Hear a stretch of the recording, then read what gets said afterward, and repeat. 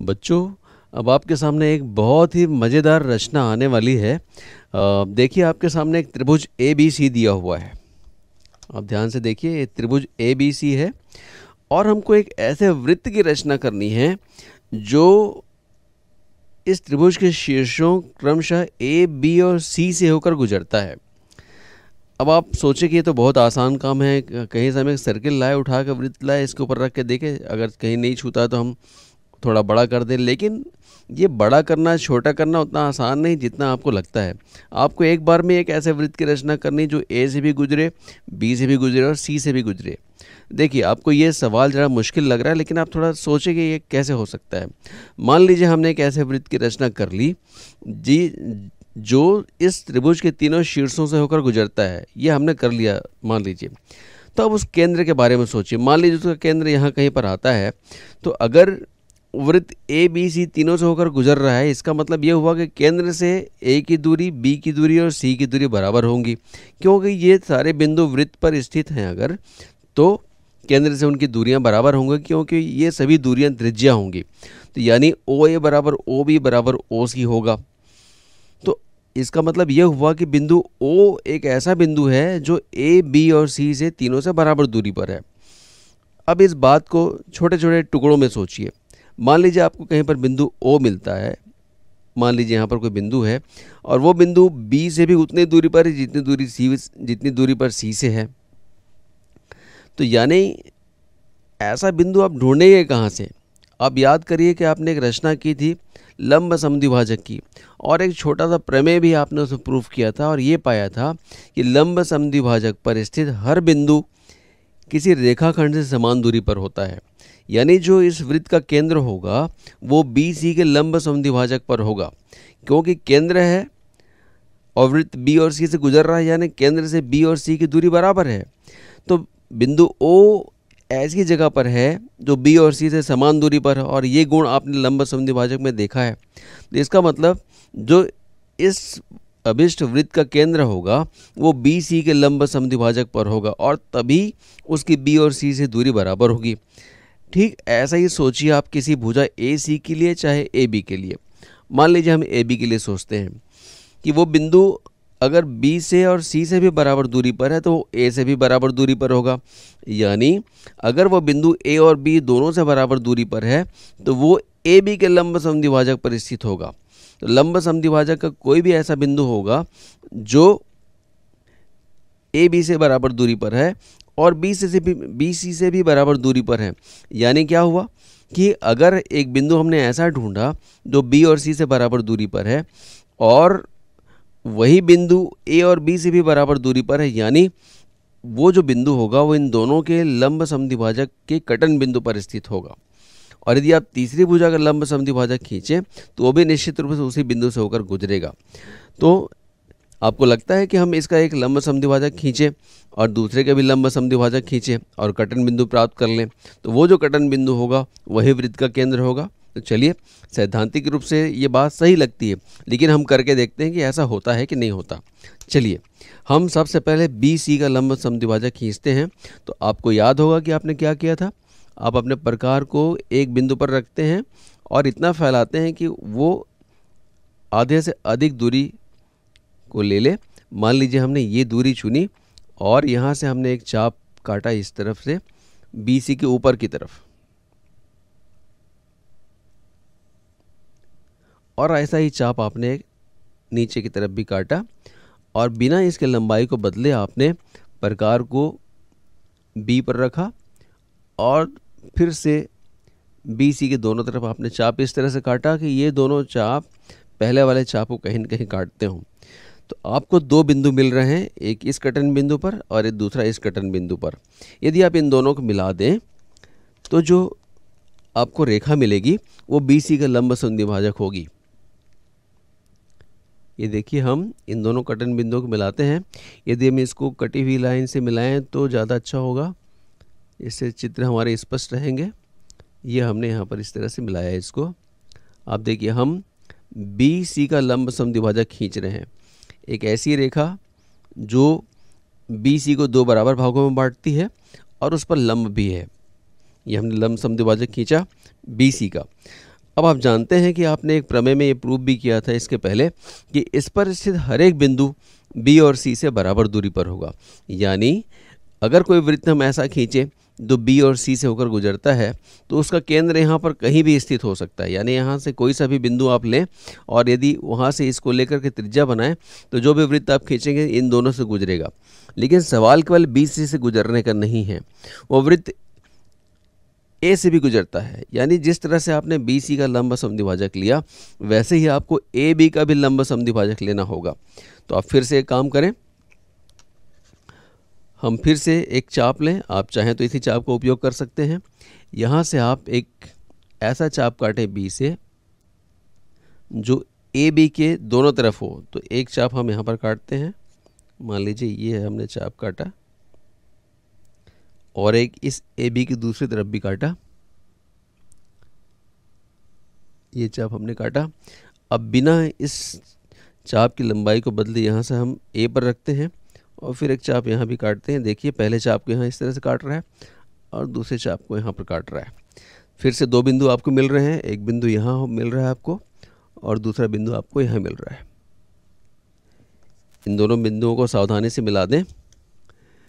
इस रचना में हमें थोड़ी सावधानी बरतनी पड़ती है क्योंकि हम जरा भी अपने स्थान से खिसके केंद्र की स्थिति बदल जाएगी और जो वृत्त आप खींचेंगे, हो सकता है वो ठीक ठीक ए बी सी से ना गुजरे।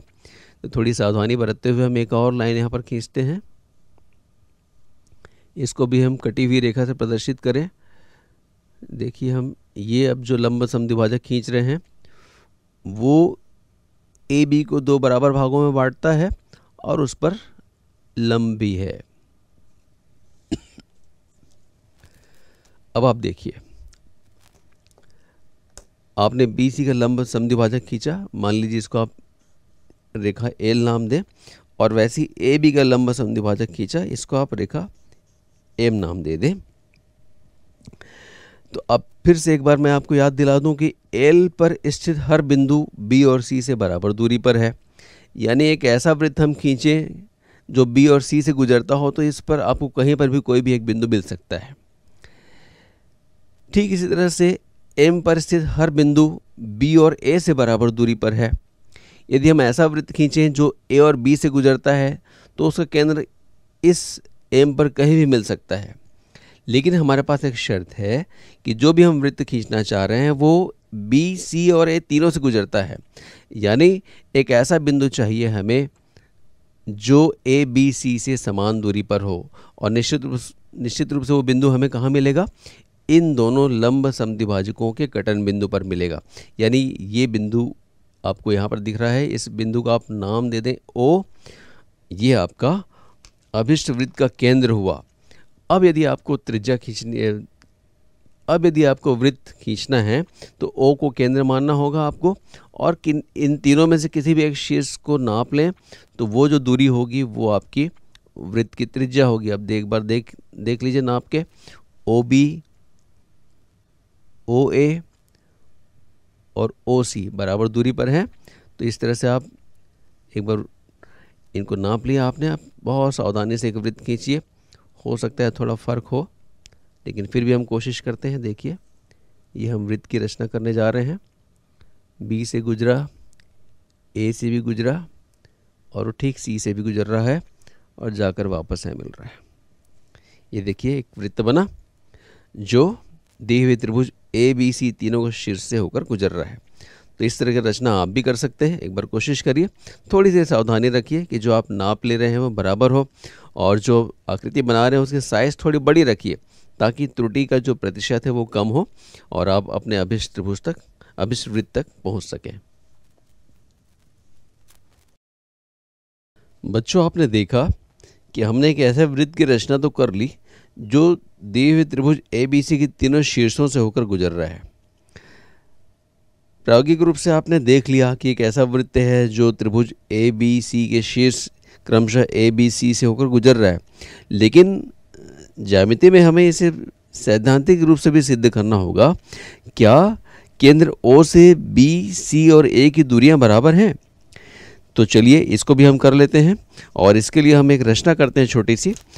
अगर हम तीनों बिंदुओं की केंद्र ओ से दूरी को बराबर सिद्ध करना चाहते हैं तो हम पहले एक जोड़े को लें। मान लें हम बी और सी को लेते हैं तो बी और सी को मिलाते हुए बी और सी को ओ से मिलाते हुए दो हम रेखाखंड खींचेंगे। ये मैं लाल स्याही से ये रेखाखंड खींच रहा हूँ।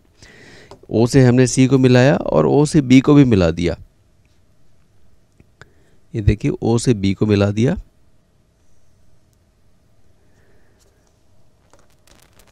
अब यदि हम ये सिद्ध कर पाए कि ओ बी बराबर ओ सी है, तब हम सैद्धांतिक रूप से कह सकते हैं कि जो बात हम पहले कह रहे थे कि ओ एक ऐसा बिंदु है जो बी और सी से बराबर दूरी पर है, सिद्ध हो पाएगा। तो देखिए, त्रिभुज ओ बी सी को गौर से आप देखें, हम यहाँ लिख लेते हैं, त्रिभुज ओ बी सी में क्या क्या हो रहा है? हमको मालूम है कि जो एल रेखा है, वो बी सी पर लंब है और उसका अर्धक भी है। यानी यहाँ जो कोण बन रहा है वो सम कोण है। इसको हम इस तरह से दिखाएँ। ये दोनों कोण सम कोण है। ये हमको मालूम है क्योंकि एल उसका अर्धक है। और इसको हम एक नाम और दे दें। मान लीजिए पी नाम दे दें। पी बी बराबर पी सी क्योंकि फिर से हम कहेंगे कि एल बी सी का अर्धक है तो वो बी सी को दो बराबर भागों में बांटता है, यानी पी मध्य बिंदु होगा। तो आप कह सकते हैं कि पी बी बराबर पी सी और ओ पी दोनों त्रिभुजों में उभयनिष्ठ है। अगर हम ओ बी पी और ओ सी पी दो अलग अलग त्रिभुज देखें तो ओ बी सी को तो पहले हमने दो त्रिभुजों में पहले बांटा।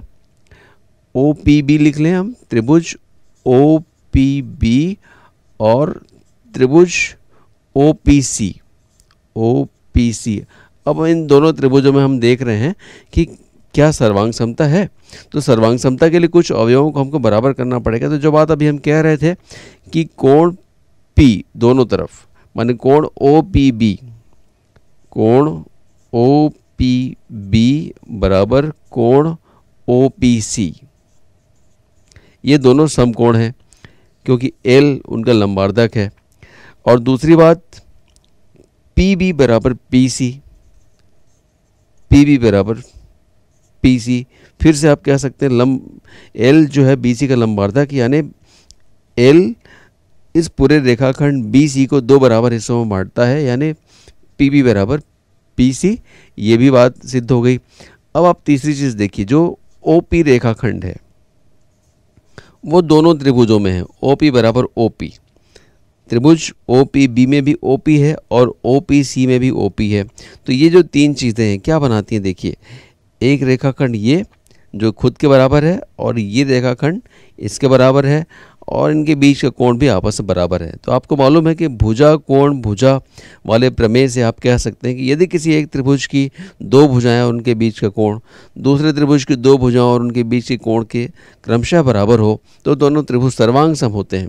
तो ऐसी स्थिति में इन दोनों त्रिभुजों के बारे में आप कह सकते हैं कि त्रिभुज ओ पी बी सर्वांग सम है, त्रिभुज ओ पी सी के। यानी ये जो त्रिभुज आप देख रहे हैं, वो इस त्रिभुज के सर्वांग सम है। ऐसी स्थिति में इस त्रिभुज के जो शेष अवयव हैं, वो भी आपस में बराबर होंगे। तो ओ बी अपनी संगत भुज ओ सी के बराबर होगा। तो आप इसको लिख सकते हैं कि ओ बी बराबर ओ सी तो देखिए, आपने ये प्रूफ किया कि जो ओ बी की लंबाई है, जो इस वृत्त की त्रिज्या है, वो दूसरी वाली त्रिज्या ओ सी के बराबर है। यानी हम कह सकते हैं कि बिंदु ओ बी और सी से बराबर दूरी पर है। यानी ओ उस वृत्त का केंद्र है जो बी और सी से होकर गुजरता है। ठीक इसी तरह से आप किसी भी और दो भुजाओं को ले लें, ए बी को भी ले लें और ए सी को भी ले लें, तब ठीक इसी तरह से आप सिद्ध कर सकते हैं कि ओ की जिस तरह से बी से दूरी और सी से दूरी बराबर है, ठीक उसी तरह से उसकी दूरी ए से भी बराबर है। यानी ओ एक ऐसे वृत्त का केंद्र है जो क्रमशः ए, बी और सी तीनों से होकर गुजरता है। तो यह सैद्धांतिक रूप से भी आपने सिद्ध किया कि ऐसे वृत्त की रचना संभव है जो किसी दिए हुए त्रिभुज के शीर्षों से होकर गुजरती है। तो ये आपकी उस प्रमेय का दूसरा भाग था जो आप इस तरह से सिद्ध कर सकते हैं।